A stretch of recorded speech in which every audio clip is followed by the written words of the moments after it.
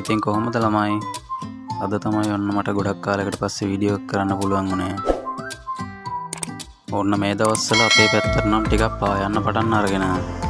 ඉතින් මේ දවස්සල තියෙන රස්නෙත් එක්ක මම හිතුවා ඔයාලට හැමෝගේ මැග සිසිල් කරන බීමක් හදන්න.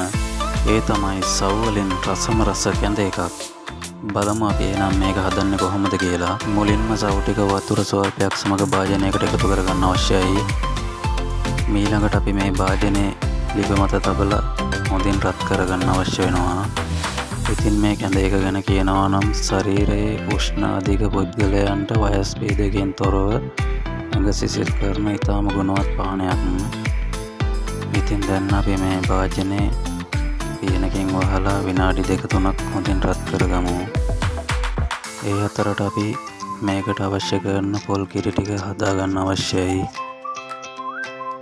පොල් කිරි ගන්නකොට දිය කිරි එකතු කරගන්න එපා. මිටිකිරි පමණක් මේකට එකතු කරගන්න. එතකොට තමයි ඉතාම රසවත්. දැන්න ඔයලට පේනවා මේක හොඳින් තැන්බීගෙනෙන්නේ අපි දැන් මේකට සීනි ස්වල්පයක් රස පදමට එකතු කරගන්න ඕන. අපිට මේ කැඳ එක තව රසවත් කරගන්න අවශ්‍ය නම් වෙනසල්ලට කිහිපයක්. ඒ වගේම රටඉන්දී හකුරු වගේ දේවල් එකතු කරගන්න පුළුවන්. දැන්න අපි මේකට මිටික ගත්ත මිටිකිරි ටික එකතු කරගන්නවා. දැන් මේක හොඳින් අපි කකරගන්න ඕන විනාඩි දෙක තුනක්. මම ඉතින් මේ වෙලාවේ ඒවා කිසිම දෙයක් එකතු කරගන්න නැහැ. මම සීනි පමණ එකතු කරගත්තේ. දැන් අපි මේකට අවශ්‍ය ප්‍රමාණයට ලුණු ස්වල්පයක් එකතු කරගමු. ඔන්න මම දැන් මගේ අතින් රසවත් සෞකැන්ත එක හදාගෙන අවසන්.